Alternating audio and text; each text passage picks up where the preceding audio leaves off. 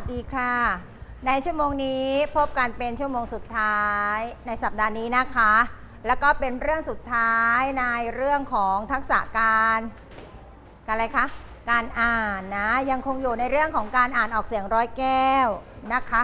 เราเรียนรู้ 2 ชั่วโมงนะ แต่ว่าเพียงแต่เป็นการทบทวน แล้วก็ฝากงานที่นักเรียนจะต้องปฏิบัตินะในช่วงท้าย ในชั่วโมงเมื่อวานนี้เราได้เรียนรู้อะไรไปคะในเรื่องของการอ่านออกเสียงร้อยแก้ว เรียนรู้เกี่ยวกับอะไรไปคะเออแนวทางหรือว่าข้อที่ควรปฏิบัติในการอ่านออกเสียงนะคะอาอย่างที่บอกว่า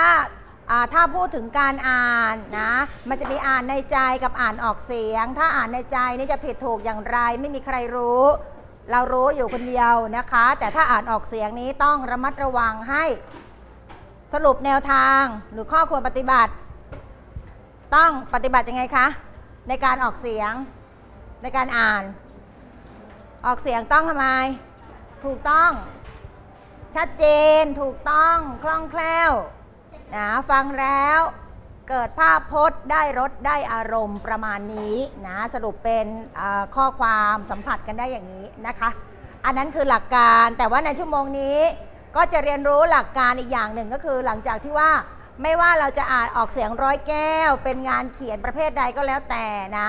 นอกจากว่าจะต้องชัดเจนถูกต้องคล่องแคล่วแล้ว ต้องทำไมคะ การใช้น้ำเสียงต้องสอดคล้องเหมาะสมกับบทอ่านด้วย มันก็จะมีหลักเล็ก ๆ น้อยๆให้นักเรียนได้ทราบ แล้วก็ได้ฝึกปฏิบัติในช่วงท้ายนะคะอะดูตัวชี้วัดก่อนเลยเหมือนเดิมนะคะ การอ่านออกเสียงร้อยแก้วนะ ตัวชี้วัดเหมือนเดิมนะอะทีนี้หลักของการอ่านออกเสียง นะโดยใช้น้ำเสียงให้สอดคล้องหรือว่าเหมาะสมกับ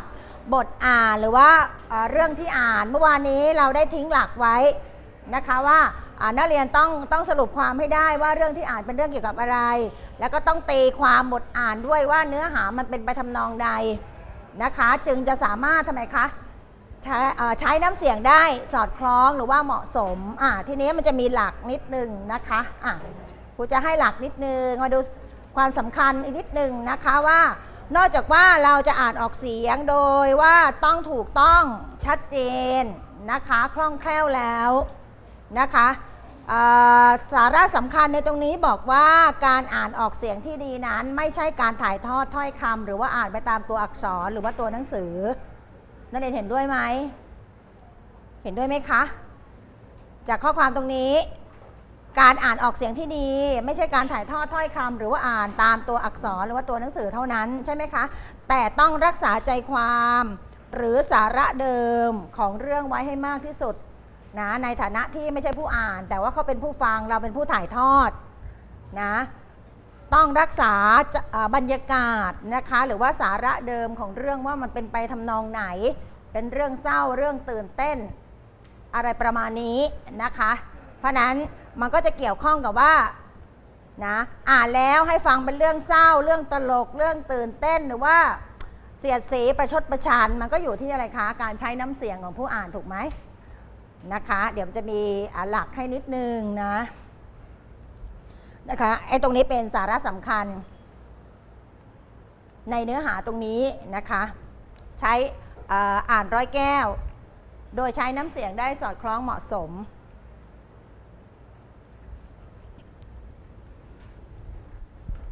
อ่ามาดูหลักเลย เดี๋ยวเราอ่าเราจะได้มีโอกาสได้ฝึกกันนะหลักการอ่านโดยใช้น้ำเสียงให้ โดยใช้น้ำเสียงแสดงอารมณ์และความรู้สึกให้เหมาะสม หรือว่าสอดคล้องกับบทที่อ่านหรือว่าเนื้อหาที่อ่านนะคะ มันก็เหมือนจะซ้ำกับเมื่อวานนั่นแหละนะ เป็นการทบทวนอีกทีนึงในช่วงท้ายนะคะ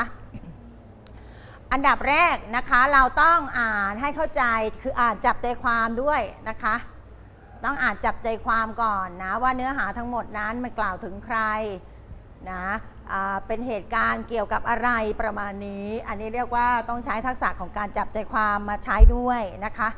มาใช้เพราะอะไรล่ะ เพื่ออะไร มาใช้เพื่ออะไรคะเพื่อจะได้ตีความได้นะคะ ว่าเนื้อหาบรรยากาศของเรื่องหรือว่าเจตนาของผู้ ของผู้เขียนบทความตรงนั้นหรือว่าร้อยแก้วตรงนั้นน่ะนะมีเจตนาอย่างไรนะคะเมื่อเข้าใจเรื่องราวทั้งหมดแล้วขั้นตอนต่อไป แบ่งวรรคตอนให้เหมาะสมนะคะ แบ่งวรรคตอนให้เหมาะสม อันนี้ก็สำคัญอย่างที่บอก ถ้าาเราแบ่งวรรคหรือว่าหยุดนะคะหยุดอ่าน ไม่ถูกต้องนะคะ ฉีกคำบ้างฉีกความบ้าง หรือว่าแบ่งจังหวะไม่เหมาะสมความหมายมันก็จะทำไมคะ มันก็จะเปลี่ยนไปนะอย่างยานี้แข็ง กินแล้วแข็งอะไรแรงไม่มีโรคภัยเบียดเบียนประมาณนี้นะคะนะถ้าแบ่งผิดแล้วมันก็จะสื่อความผิดด้วยนะคะอะต่อไป ขั้นต่อไปนะคะ อ่านออกเสียงให้เหมือนเสียงพูดสำหรับบางคำด้วย นะสำหรับบางคำอันนี้อาจจะเน้นในลักษณะที่ว่าเป็นการอ่านอะไรอะบทสนทนา อ่านบทละคร อ่านนวนิยายเรื่องสั้น ละครพูดที่เราเรียนรู้การเห็นแก่ลูก มันก็จะมีบทสนทนาของตัวละครใช่ไหมคะ ประมาณนี้ อันนี้คืออการอ่านโดยใช้น้ำเสียงสอดคล้องกับอารมณ์ความรู้สึกตามเนื้อหาเนี่ยมันก็จะเน้นบทร้อยแก้วที่เป็นบันเทิงคดีส่วนใหญ่ นะประเภทที่มันมีบทสนทนาของตัวละครด้วยนะคะอะทีนี้อ่านอย่างไรล่ะ ให้เหมือนเสียงพูดในบางคำนะคะ เช่นนะคะ หรือถ้าอ่านร้อยแก้วทั่วไปอย่างบทความอันนี้ก็ต้องออกเสียงให้มันเหมือนกับเสียงพูดอยู่แล้วนะคะะทีนี้ถ้ามันเป็นบทสนทนานะคะ บอกว่าต้องอ่านให้เหมือนเสียงพูดนะอย่างเช่นคำสรรพนามแทนตัวว่าฉัน เวลาที่อ่านออกเสียงเพื่อให้มันสอดคล้องกับอารมณ์ความรู้สึกต้องออกเป็นอะไรคะ เป็นฉันฉันฉันดิฉันไม่ใช่ดิฉัน ไม่ใช่ฉัน ถูกไหมในการออกเสียงให้เหมือนเสียงพูดจริง ๆ นะคะ นะคำว่าดิฉันก็เช่นเดียวกันนะคะ ถ้าอ่านปกติเนี่ย ดิฉัน อันนี้ถือว่าไม่ใช้น้ำเสียงไม่สอดคล้อง อารมณ์ความรู้สึก ต้องเป็นดิฉันนะคะ เป็นการพูดจริง ๆ นะ หรือของผู้ชาย นะ ผมก็ต้องออกเสียงเป็นผมนะคะ หรือบุรุษที่สามเขาก็ต้องเป็นอะไรเป็นเขานะคะ อันนี้คือลักษณะของออกเสียงให้เหมือนเสียงพูดนั่นเองนะคะ ในบางคำแต่ขณะเดียวกันตรงอื่นก็เหมือนกันนะคะ ในข้อความตรงอื่น ถ้าไม่ใช่เฉพาะสรรพนามพวกนี้นะน้ำเสียงก็ต้องเหมือนกับเสียงพูดมีอะไรนะ เสียงสูงต่ำเสียงหนักเสียงเบา นะคะ อันนี้เป็นต้นนะ ต่อไปนะคะ ขั้นตอนที่ 4 นะคะ พยายามตีตีเจตนาของผู้เขียนตลอดจนบรรยากาศของเรื่องตามเนื้อความตอนนั้นๆ อย่างละเอียดนะเข้าใจเรื่องแล้วว่าเรื่องราวเป็นไปทำนองใดนะแบ่งจังหวะวรรคตอนให้ถูกนะคะ ตามแบ่งตามกลุ่มคำแบ่งระหว่างช่วงประโยค นะถ้าบรรยาวหรือว่าระหว่างคำที่มีคำสันธานเชื่อมต่อ ก็แสดงว่ามันเป็นประโยคยาวนะคะ อย่าฉีกคำคำที่มีหลายพยางก็ต้องอ่านรวบคำอย่าอย่าหยุดกลางคำอย่างเงี้ยนะคะ ก็มาดูว่าถ้าตีความแล้วนะคะต้องการสื่อความให้มันเป็นเรื่องเศร้านะเรื่องตลกสนุกสนานตื่นเต้น หรือในน้ำเสียงเจตนาของผู้เขียน ให้ต้องการอะไรให้เสียดสีประชดประชันในพวกนี้นะน้ำเสียงมันต่างกันไหมการใช้น้ำเสียงในการอ่านต่างไหมคะ มันต่างนะก็คือตามอารมณ์ความรู้สึกของเราเองนั่นแหละนะคะ เหมือนการพูดอะนะคะอะต่อไปนะคะขั้นต่อไป ทดลองอ่านโดยใช้อารมณ์ความรู้สึกและใช้น้ำเสียงให้เหมาะสมสอดคล้องกับบรรยากาศของเรื่องสืบเนื่องกับข้อ 4 นั่นเอง นะเรามันต้องเป็นผู้ตีความเองนะคะนะต้องตีความตีสาระเดิมว่าสื่อไปยังไงนะตามเจตนานะอันนี้ต้องใช้ทักษะตรงนี้ด้วยจับความด้วยนะคะ เสร็จแล้วนะคะก็ทดลองอ่านนะถ้ามันต้องการช่วงนี้ต้องการสื่อให้ผู้ฟังรู้สึกว่าให้มันเศร้านะต้องอ่านให้เศร้าจะทำยังไงล่ะให้ผู้ฟังฟังแล้วเศร้าด้วยนะคะ ซึมซับบรรยากาศของเรื่องตรงนี้ นะหรือว่ามันตื่นเต้นหรือมันโกรธนะประชดประชันอะไรประมาณนี้นะคะนะอย่างที่บอกว่าทักษะต้องอาศัยการฝึกฝนจึงจะเกิดความชำนาญนะคะนักเรียนเคยฟังละครวิทยุไหมมีไหมสมัยนี้ ละครวิทยุนะอันนั้นก็ถือว่าเป็นตัวอย่างของการ อ่านออกเสียงโดยใช้น้ำเสียงให้สอดคล้องกับอารมณ์ความรู้สึกยังมีไหมคะ เคยฟังไหมไม่เคยนะสมัยนี้อาจจะไม่มีแล้วนะคะ แต่ว่าอย่างเหมือนก็ในละครในโทรทัศน์ก็เหมือนกัน เวลาสนทนากันเวลาพูดกันนะมันก็ต้องใช้น้ำเสียงให้ตามอารมณ์ความรู้สึกเหมือนกับเสียงพูดนั่นแหละนะคะ ประมาณนั้นนะนะคะอะทีนี้มาดูนะคะการทดลองใช้น้ำเสียงตามอารมณ์ความรู้สึก นะจะใช้อย่างไรมันก็จะมีหลักคร่าวๆอยู่ไม่กี่อารมณ์ความรู้สึกหรอกนะคะอะถ้าเสียงดัง แข็งกร้าว น้ำเสียงเป็นยังไงเสียงดัง